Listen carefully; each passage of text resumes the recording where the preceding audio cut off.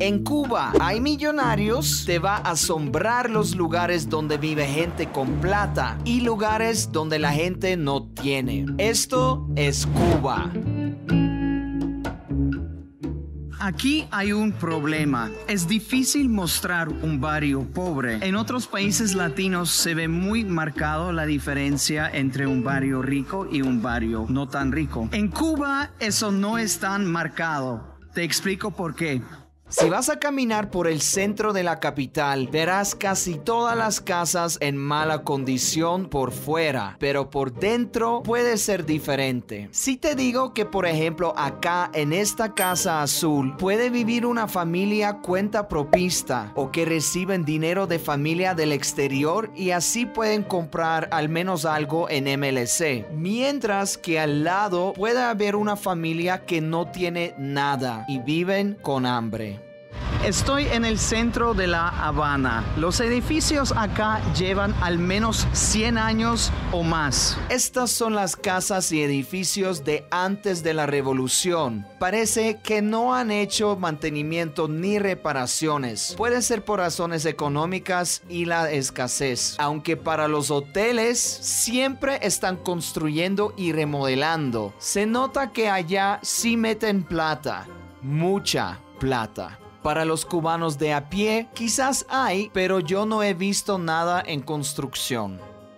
Hay muchos edificios como este que parecen a los apartamentos soviéticos. En mis videos de Moldavia, Ucrania, hasta en Rumania, que hay también edificios así. Aunque realmente se ve mucho más deteriorado en Cuba. Muy triste.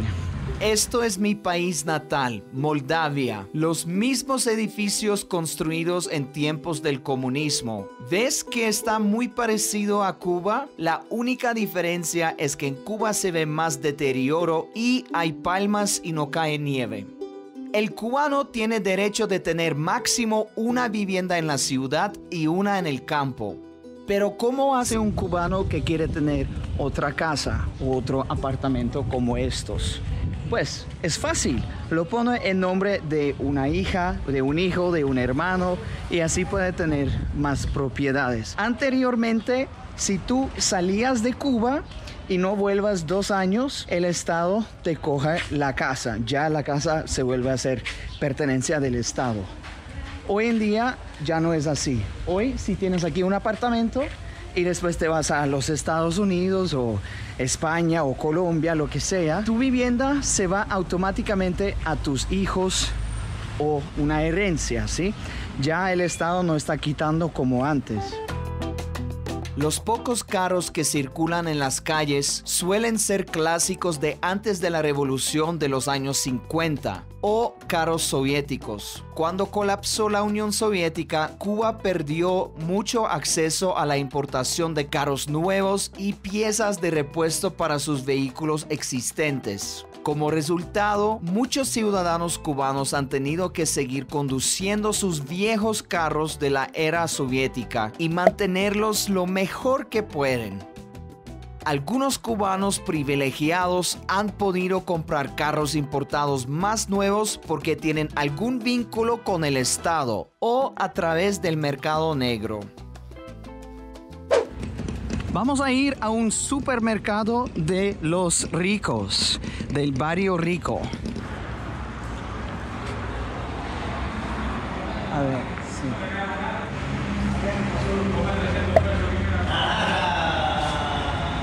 Disculpa, ¿tienes agua? No, al lado restaurante. ¿Al lado? Sí. Sí, está vacío, no hay absolutamente nada. Desde afuera se ve mucho más lindo y por dentro solo venden algo de carne y queso y ya. De hecho, el queso fundido que probé acá, el queso cubano fundido, me ha gustado muchísimo. Es muy rico. Bueno, dicen que aquí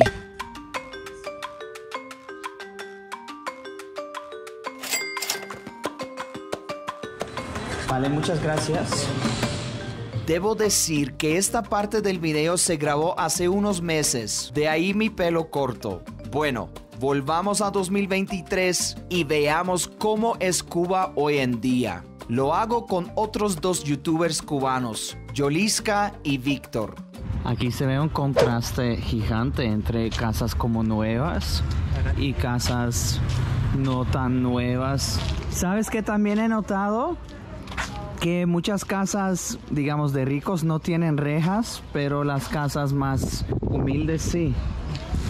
¿Por qué es? Cualquiera, en cualquiera te puedes encontrar las rejas. Las dos.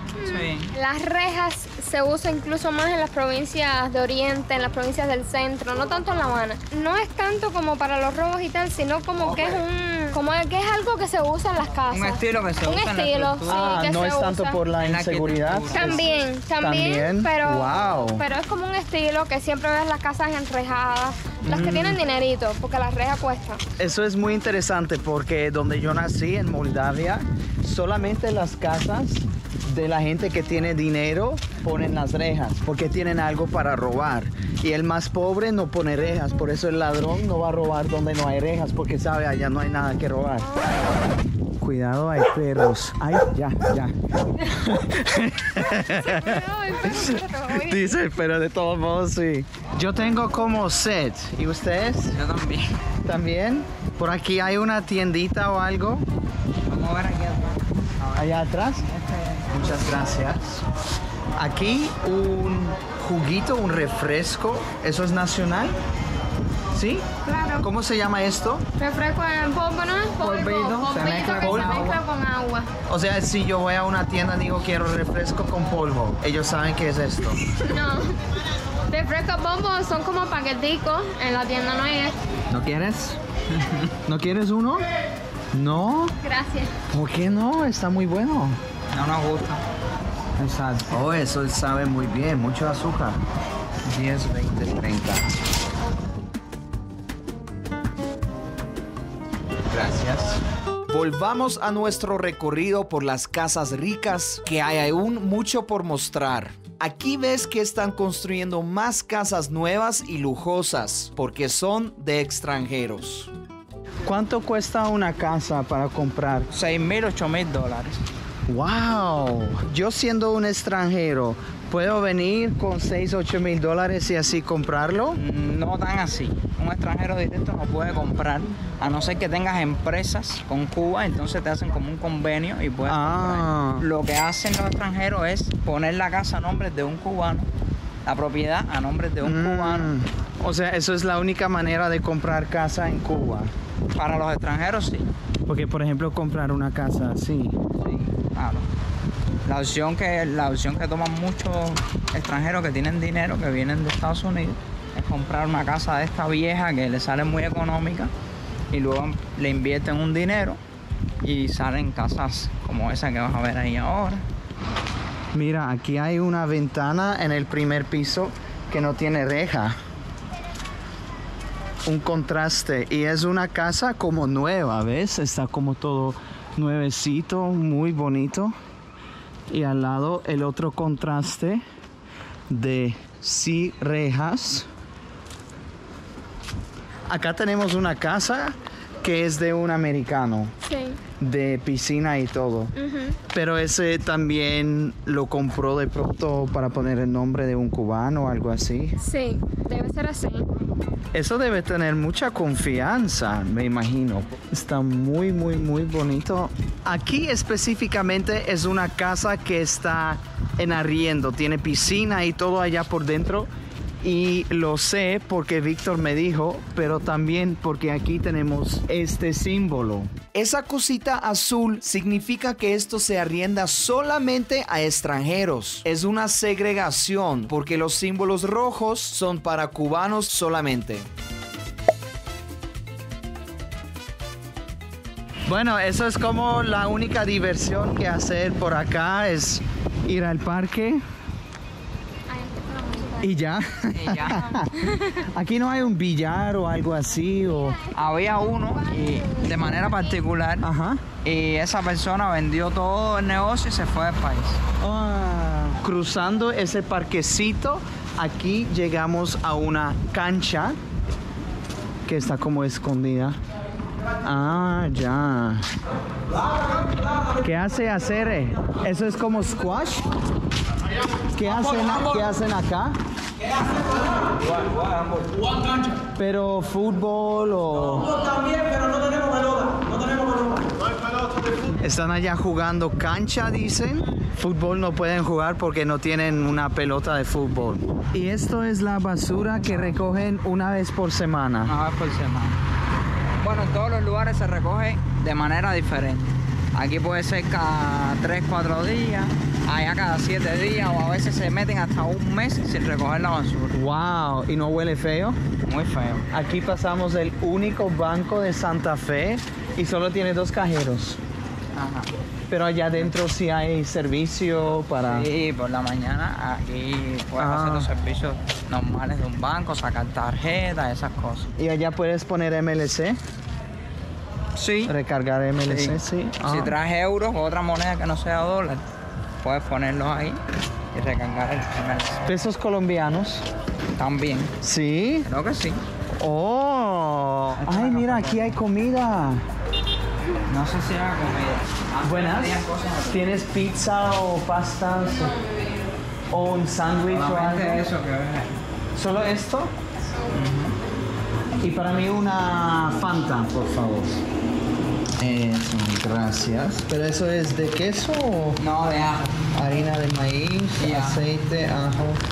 Mm, ¿Eso es algo típico para ustedes, cubanos? Creo que sí, porque Benji es una productora cubana. Me dice que antes eso costaba 10 pesos y hoy en día vale 100 pesos. Hicieron un reordenamiento que cambiaron los salarios, que todos subieron hace un poco más de un ¿Qué año. pasa? Que el salario subió alrededor de, no sé, cinco veces el salario normal. Yo cobraba mil pesos y entonces empecé a cobrar 4.700.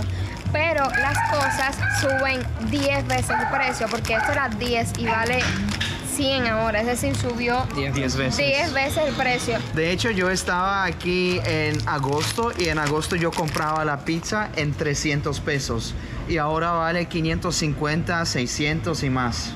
¿Qué tal del transporte? ¿También ha subido? Sí, mira, el recorrido de antes del reordenamiento, un viaje de 10 minutos te costaba 10 pesos cubanos. Hoy en, ¿En día, taxi? sí, compartido, taxis compartidos. Ah. Hoy en día cuesta 50 pesos. ¿No te fijaste que, que pagamos 50 pesos? Sí, Antes costaba verdad. 10. Y Aquí esto es dice ex- extrusos de maíz. El fin del legendario pared. Mm, eso no está mal. Baje la pared de. Salió un poquitico ajo. Tiene muy poco ajo. Yo pensé que eso iba a saber como muy blando. Pero sí, Están crujientes. sí. Tamales, tamales, A 60. tamales, Está ahí, a Piccolo, 60. Esto es como cuenta propista. Sí, es particular. Es particular, sí. Acá en Cuba también venden tamales, pero los tamales son diferentes a los tamales que conocemos en Colombia. Yo no sé cómo, bueno, es, es como un tamal, pero acá es diferente. ¿Qué trae esto? Maíz. Y ya. Maíz, sazón. Pero no tiene carne, no, tiene nada. ¿qué va? En estos queso. tiempos, primo, en estos tiempos difíciles.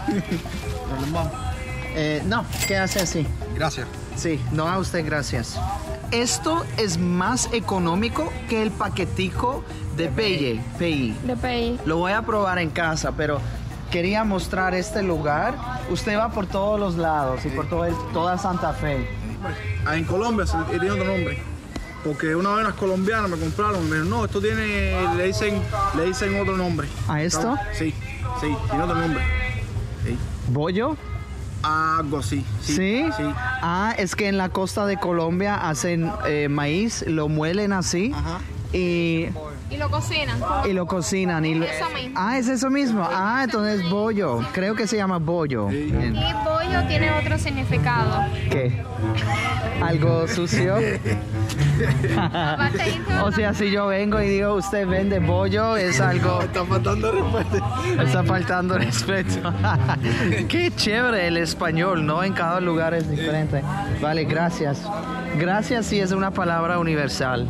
Y a ti, muchas gracias por ver este video. Suscríbete a mi canal para ver más de Cuba y otros países.